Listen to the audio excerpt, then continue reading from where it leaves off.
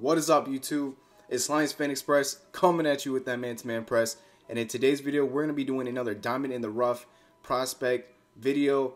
Um, this one will be on Kendre Miller. He's a running back from TCU. Uh, really like his film. I think he's a really good player.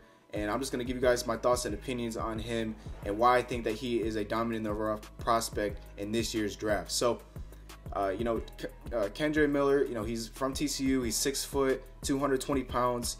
I watched his games against Texas, Oklahoma, Kansas State. Um, also watched him a little bit uh, in the playoffs as well against Michigan um, before he was injured. So basically, you know, one thing that really just steps up um, on his film is he's got great balance. Anytime someone tries to tackle him, he he always is able to just break a tackle and just you know keep his balance and maintain uh, that that level low center of gravity. So he's able to uh, really make people miss and um, in the open field, um, just making people look silly. Not really even a, necessarily like a juking kind of back. He's not like super elusive, but he is very like uh, you know good with uh, high stepping and you know spin moves and you know cutting back and just making those uh, right angles uh, to force the defenders to you know have to make hard tackles and ultimately you know he's got the strength too to uh, to get over that so um, you know he's got home run speed that's one thing too that kind of stands out on his tape is constantly you'll see him like just break a big one for a long gain uh, usually you know he gets a touchdown if not you know he, he rarely does get caught from behind uh, he didn't run at the combine, but honestly, if I had to say, he's probably got legit 4-4 speed, if not faster. Um, he's, he's just a flyer. He's quick. Um, you know, and also a thing that kind of really stands out too that you know not a lot of backs have is you know he's a good ball carrier that has good vision. Um, so when he you know they primarily ran a zone concept scheme uh, with TCU, but when he was able to uh, you know get the ball, he was able to find the hole um, based off of where the you know the flow of the defense was going and able to cut up, uh, bend it back, or bounce it to the outside. So he does a really good job with doing that. Um, he plays with patience, similar to Le'Veon Bell. Um, you know, he's not.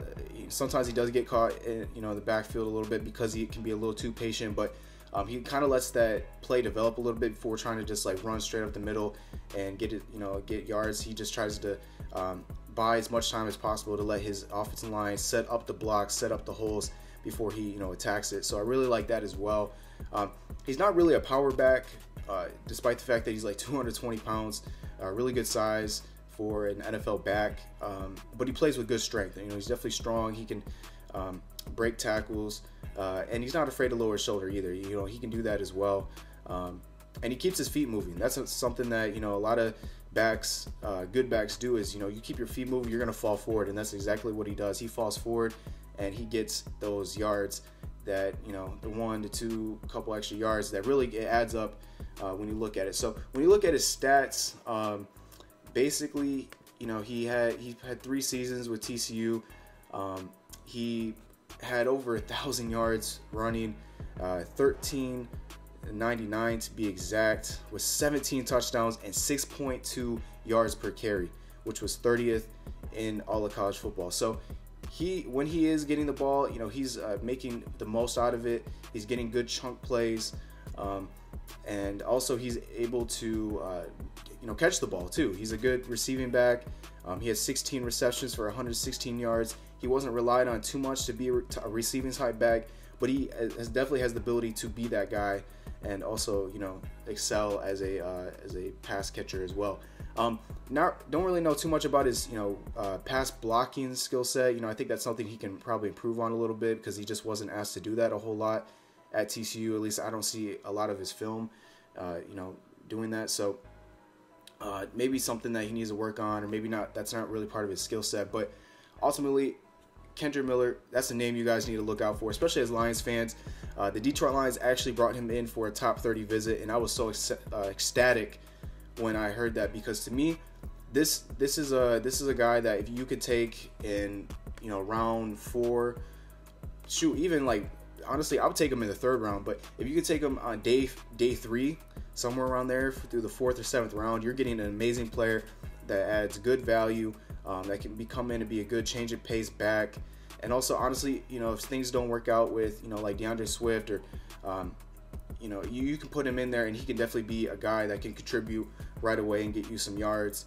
Um, really like, uh, you know, Kendre Miller. Uh, excited to see where he goes in the draft. But yeah, that's kind of why I have him as a diamond in the rough prospect. You know, it just, you know, there's a lot of good backs in this class. Um, a lot of good guys you can get in the later rounds. But one thing that just stuck out about me is that he just makes big plays. And big plays to me um, is very important, especially at the next level. And also, you know, hanging onto the ball as well. He doesn't really fumble the ball as well either. He's, you know, keeps it secure to his chest, um, doesn't turn the ball over. So, and that's most important. But when you can make big plays like that and make defenders miss like he does, you're you're definitely in a good spot to uh, be a good running back at the next level, in my opinion. But with that being said, you know I hope you guys check him out, look at his highlights, look at his tape, uh, and tell me guys what you guys think about him. Would you like him to be a Detroit Lion? I personally would. I think he's a great value, great uh, great pick, and the Detroit Lions obviously think so too because they brought him in for that visit. They're definitely interested, and they can definitely take a shot at him. Um, in the later rounds. Would not be surprised one bit. So with that being said, I hope you guys like this series. We want to keep on doing some more prospects as we lead up to the draft in just a week and give you guys my thoughts opinions on those players as well. So with that being said, hope you guys like the video. Give it a like, thumbs up, subscribe, and as always, go Lions.